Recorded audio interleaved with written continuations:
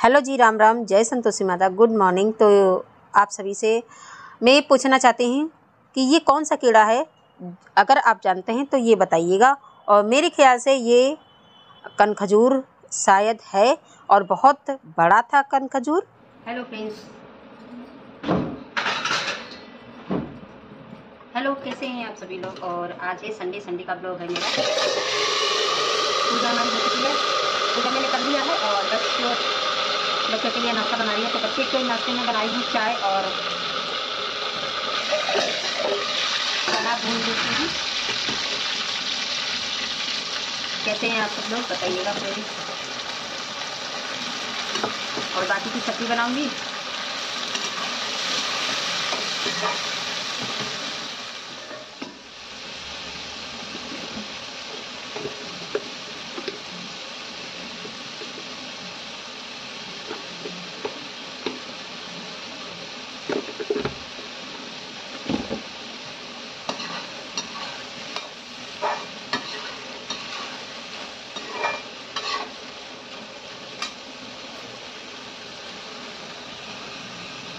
तो फ्रेंड्स बताइएगा कैसे हैं आप सभी लोग? और आज मैंने साड़ी पहनी है। क्योंकि ठंडा मौसम भी है। आज मेरे यहाँ का मौसम थोड़ा सा हल्का सा ठंडा है। ज़्यादा गर्मी नहीं है, उमस जैसी नहीं है, क्योंकि आज धूप भी नहीं निकली है और मौसम भी ऐसे ही है। जब मौसम अच्छा होता है तो ठंडा मौसम होता है तो अच्छा लगता है। तो आज मुझे साड़ी पहनी है। तो आज भी संडे, फिर से बता देती हूँ।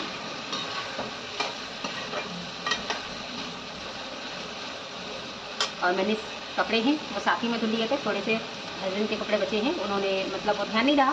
वो चलो, बात को हम धुल देते हैं। और आप देख, आपने देखा कि तौलिए में इतना झाड़ है ना मेरे घर आसपास के खेत भी है और इधर उधर झाड़ भी है ना, इसी वजह से कीड़ा वो इतना बड़ा कीड़ा आ गया। अचानक से मैंने मुँह पोछा तो देखा एकदम से मेरी हल्का सा मालूम हुआ कि कुछ है, मेरे गाल में छू गया। तो फिर मैंने इसको देखा तो मैं डर गई एकदम से और ये कहो कि मैंने ऐसे उठा के इसी पूछ नहीं लिया। बहुत बड़ा कन्फर्ज हो रहा था और ये झाड़ियों में ही होते हैं। चिपक जाते हैं तो फिर छूटते नहीं हैं, बहुत ही मुश्किल से छूटते हैं। क्योंकि हमने एक बार देखा है कि गाँव में ननिहाल में मैं गई थी तो एक लोग की चिपक गया था तो बहुत मुश्किलों से पता सुई लगा आ, जो सुई होती है ना उससे उमस मुश्किल से पैर निकाले गए थे फिर भी वो पैर इतने मज़बूत थे कि पैर नहीं नीचे आखिर में उनको हॉस्पिटल ले जाया गया था। तब जाके ऑपरेशन किया उतना खाली ही निकालना पड़ा था तब जाके वो छूटा है। और जोंक वगैरह होता है कुछ चिपक जाते हैं तो उसमें नमक डाल तो छुट जाते हैं पर जोंक भी बहुत खतरनाक होते हैं। हर चीज़ है, बहुत खतरनाक होती है। तो हज़ारों की तादाद में जो इनके पैर होते हैं ना, वो बहुत खतरनाक होते हैं। चिपक जाते हैं तो छूटते नहीं हैं। तो चना हो चुका है, चना और चाय देते हैं ना बच्चों को। फिर मिलते हैं आपसे। और आपको मौसम दिखाते हैं। बहुत प्यारा मौसम कपड़ा है, ये देखिए, कपड़ा भी रखा है, ये देखिए। आज बिल्कुल ठंडा मौसम है। अच्छा भी है, क्योंकि गर्मी बहुत ज़्यादा पड़ रही थी। नाश्ता करने के लिए चाय और चना तो हम तो बैठ गए हैं, नाश्ता कर लेते हैं। आज तो बहुत लेट में उठे थे। वो बज रहे हैं, नौ बज रहे हैं, क्योंकि आज संडे है तो धीरे धीरे सारा काम करेंगे। और फ्रेंड्स ऐसे ही, और जो भी नहीं आता है तो प्लीज़ सब्सक्राइब कर लीजिएगा। बगल में पहले उसको दबा दीजिए। प्लीज़ सपोर्ट कीजिए हमारे चैनल को, ताकि आप सभी के सपोर्ट से मेरी हेल्प हो सके। तो खा लेते हैं, फिर हम और मैं आपको फुल रूटीन अपना शेयर कर रही हूँ, और इसके बाद, नाश्ता करने के बाद मैं आ गई हूँ। तो पानी चला दिया है तो पानी भर लेते हैं। पीने के लिए और खाना बनाने के लिए तो भरना ही पड़ता है। लाइट का कोई भरोसा नहीं कि कब लाइट आती है, कब जाती है। कुछ पता नहीं होता है। तो इधर हमने पानी भर के रख लिया है सारा और यहाँ पे हम वाईफाई लगा देते हैं। और घर का सारा काम तो निपट गया था। सिर्फ़ खाना बनाने का था, वही बनाऊँगी। और इसके बाद अब हम चलते हैं कपड़े डालने के लिए। और हमारे यहाँ मौसम बहुत अच्छा लग रहा है, बहुत अच्छा है। और बहुत ज़्यादा गर्मी भी थी। अभी कई दिन से बहुत ज़्यादा गर्मी हुई है और उमस जैसी। तो बहुत दिक्कतें। और इसमें क्या होता था कि शाम को तो थोड़ा सा ठंडा मतलब रात के बारह बजे के बाद थोड़ा सा ठंडा मौसम हो जाता था। और दिन भर गर्मी रहती थी। तो इस वजह से ज़ुकाम सर्दी एकदम से हो गया है। और ख़ासकर इस समय आँख आँख की समस्या और सर्दी जुकाम की तो बहुत ज़्यादा दिक्कतें आ रही हैं और आप सभी से बस रिक्वेस्ट है कि आप सभी लोग अपना, बच्चों का अपना ख्याल रखें और बस अच्छा खान पान रखें। बस यही है।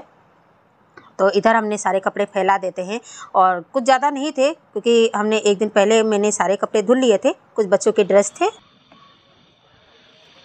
हमारे यहाँ मौसम बहुत, आज बिल्कुल धूप नहीं निकली है। कपड़े सारे फैला दिए हैं, पानी भी भर के रख दिया ठीक लाइट पता नहीं कब चली जाए।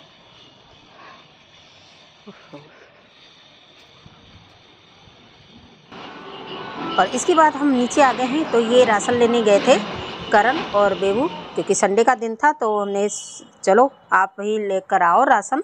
तो राशन लेकर आ गए हैं और यहाँ पे हम कुछ जाला साफ़ कर लेते हैं और साथ ही साथ में मेरा खाना भी बन रहा है और ये मैंने ना जाला साफ़ करने वाला सुबह के टाइम मैंने लिया था। मेरा जो जाला साफ़ करने वाला वो टूट गया था। तो बस ये है, काफ़ी ऊंचाई तक पहुँच जाता है और जाला साफ़ हो जाता है। और बहुत ज़ोर से मेरे ज़ुकाम हुआ है ना, खांसी आ रही है तो सारे जालाओं को हमने निकाल दिया है और फ़िलहाल जाला में रखती नहीं हूँ और जहाँ देखती हूँ तो साफ़ कर देती हूँ और आप देख रहे हैं दीवार कितनी काली काली सी है तो ये बारिश की वजह से हो गया है और ये आए हैं करण, राशन लेकर आए हैं तो कुछ पैसे हैं बचे, वही दे रहे हैं और इधर हम साफ़ सफ़ाई में लगे हैं तो संडे का दिन है, थोड़ा सा टाइम मिला तो साथ ही साथ लगे रहते हैं और इनसे मैं पंखा साफ़ करा रही हूँ। ये जब देखो तो मेरे से लंबाई ये नापते रहते हैं और कहते हैं कि मम्मी मैं आपसे लंबा हो गया हूँ।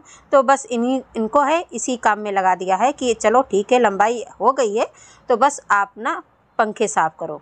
तो बस ये पंखे साफ़ कर रहे हैं। इसके बाद में वही चार बजे के टाइम में मार्केट आई थी तो चूड़ियाँ ख़रीदने क्योंकि आ, आप जानते हैं कि पंद्रह अगस्त आ रहा है तो मैं पंद्रह अगस्त के लिए चूड़ियाँ लेने आई थी, हरी और वाइट कलर की, झंडे कलर की। और फिर इसके बाद मैं यहाँ पे सब्ज़ी लेने आई हूँ तो ये बाबा हैं।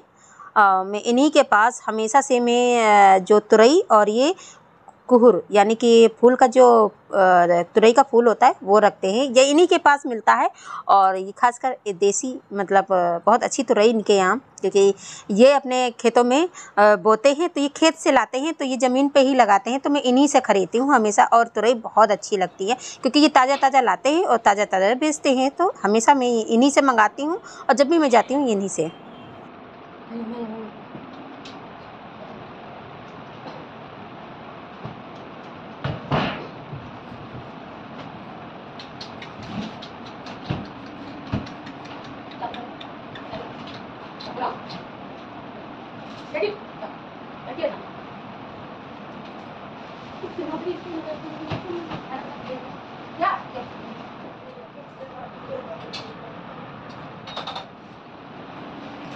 और इधर मैं लाई थी इस समय मूली के पत्ते बहुत अच्छे आ रहे बहुत ही सॉफ्ट आ रहे हैं तो मैं बस हरी हरी सब्ज़ी लाई हूँ। और खाने में भी बहुत अच्छा लगता है जब नया मतलब अभी नए नए तब पत्ते हैं, इसकी मूली अभी नहीं हुई है। और तो ये पत्ते ना चने मतलब चना की दाल हो या मतलब किसी काली दाल हो, इसके साथ बहुत अच्छी लगती है। तो मैं आपके साथ शेयर की हूँ। और ये है, चाय बनाकर लाए हैं, हमें चाय दे रहे हैं और सुबह के चाय ना रखा था।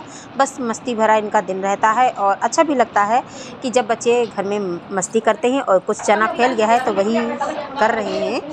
बता रहे हैं। कि चना गिर गया है तो बस इसके बाद में दिया बाती करने के लिए आ गई हूँ। टाइम हो गया है छः साढ़े छः बजे के बाद मैं दिया बाती करती हूँ।